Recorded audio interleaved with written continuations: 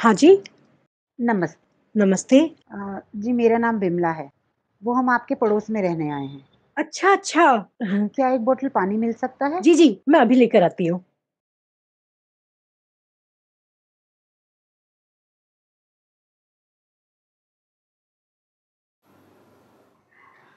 ये लीजिए। आपने अपनी बॉटल में दे दिया, मैं जल्दी भिजवा दूँ। कोई बात नहीं, आराम से दीजिएगा। Thank you.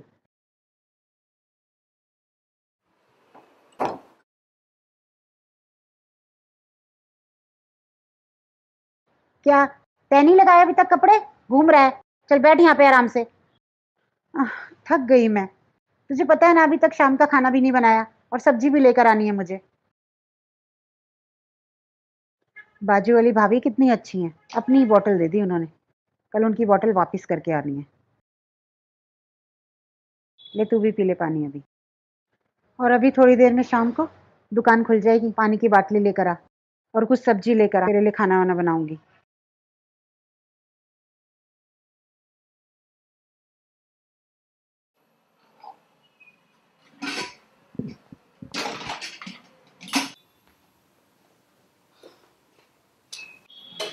अरे रवि इधर आ।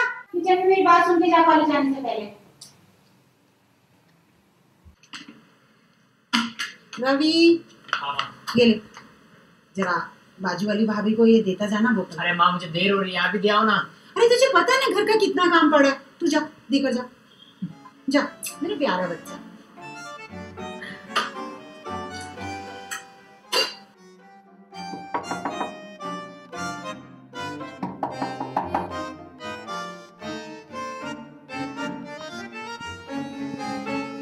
ये फिर पानी की बोतल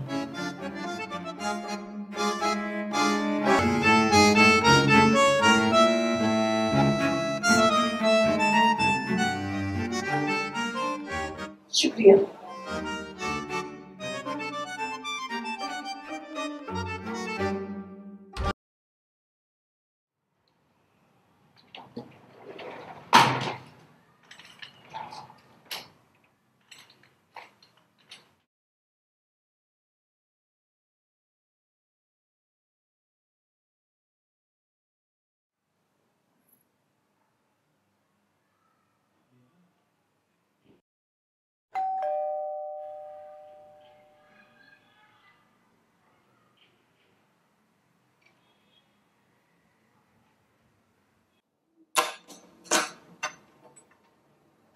अरे आप जी, सोचा पड़ोसियों से मिल लिया जाए। अरे ये तो बहुत अच्छी बात है आइए ना अंदर जी। आइए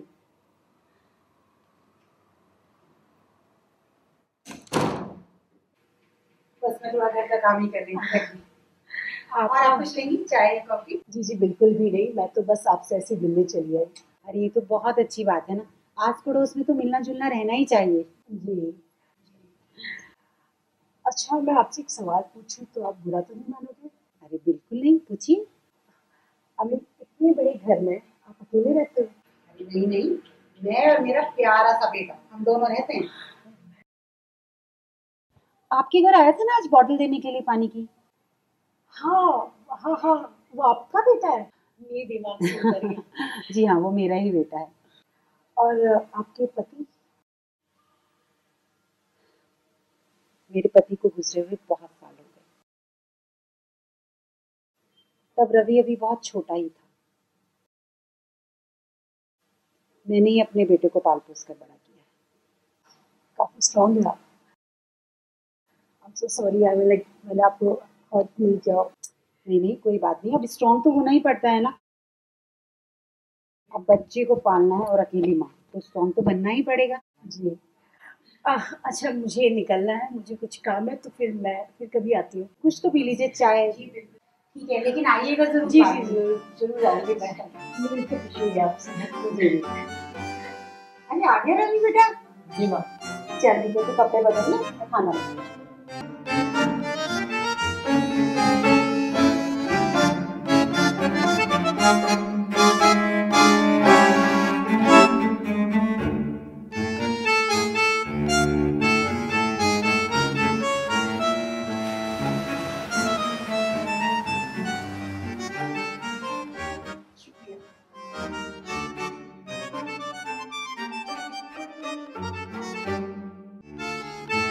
माँ ने आपके लिए खरीद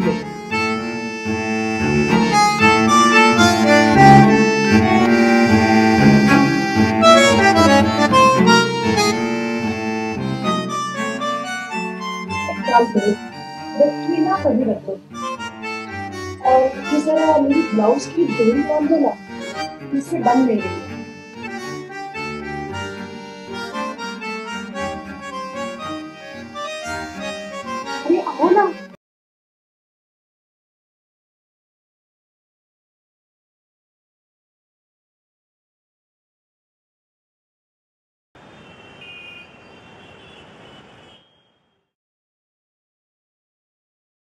नमस्ते विमला जी। नमस्ते भाई साहब। कैसे हैं आप? मैं ठीक हूँ। आप सुनाइए। बस बढ़िया बढ़िया। घर शिफ्ट हो गया आपका? हाँ जी हाँ जी।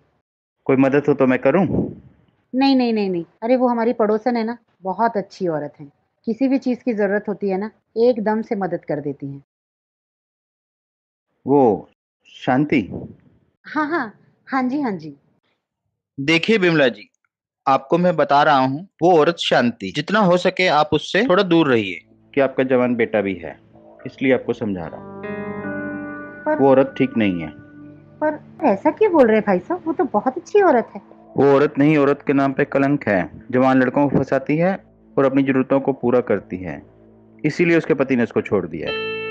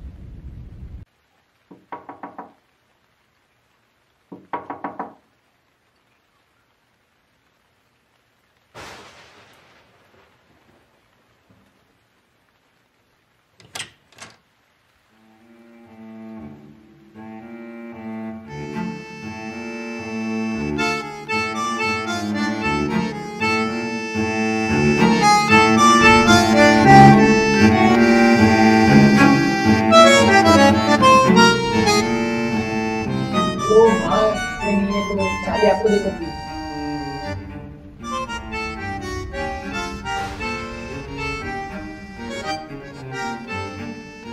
चाबी आपको क्या? नहीं तो लेकर नहीं गई तुम बाहर क्यों खड़े हो? अंदर आओ ना। काफ़ी भीग गए हो। अंदर आ जाओ जब तक नानी आती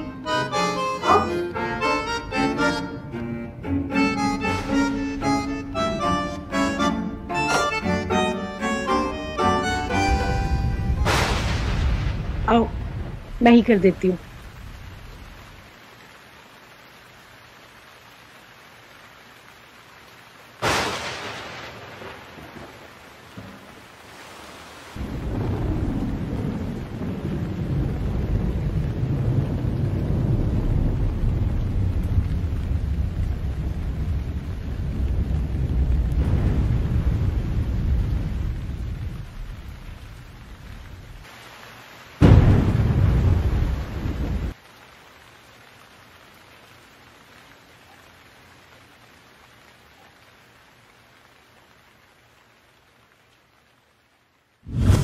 वो औरत नहीं औरत के नाम पे कलंक है जवान लड़कों को फंसाती है और अपनी जरूरतों को पूरा करती है।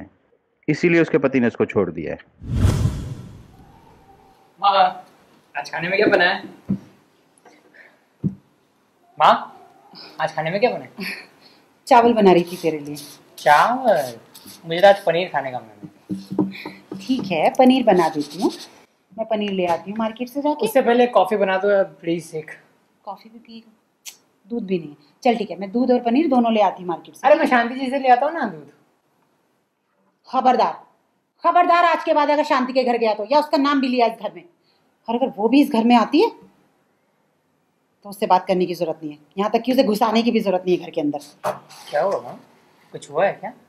मैंने बोल दिया ना कि शांति से दूर रहो। अगर मैंने तुझे उसे देखा ना बात करते हुए तो मुझसे बुरा कोई नहीं होगा। समझा तो? मैं मार्केट जा रही हूँ सामान लेने और अच्छे से दरवाज़ा बंद कर ले। चल।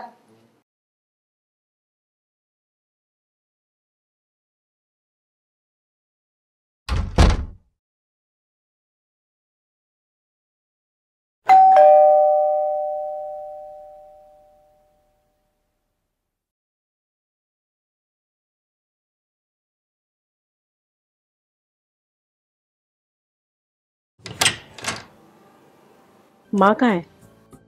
कुछ सामान लेने मार्केट गई है। इसका मतलब हम और तुम अकेले हैं?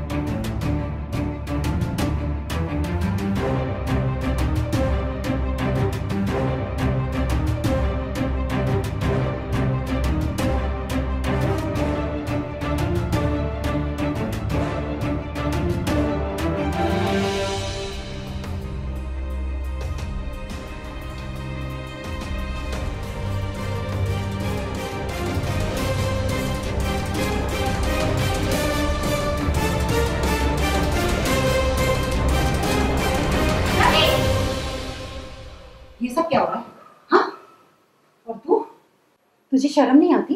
तेरी उम्र के छोटे लड़के के साथ ये सब करते हुए बेशरम औरत और तू हाँ? अरे, तेरे भाई की उम्र का है वो। निकल निकल मेरे घर से अभी। और आज के बाद मुझे अपनी ये मनुष्य शक्ल मत दिखाना। मेरे बेटे और मेरे घर की तरफ़ देखने की कोशिश की ना तो तुझे मैं जान से मार दूँगी। समझी? निकल निकल यहाँ से। और तुझे तुझे समझाया था ना कि शांति से दूर रहे, फिर क्यों तूने उसे घर के अंदर आने दिया ना? तू बेवकूफ़ शर्म नहीं आई तुझे? हाँ? आज के बाद अगर ये औरत आई ना घर में तो मेरा मरा हुआ मुँह देखेगा। समझा?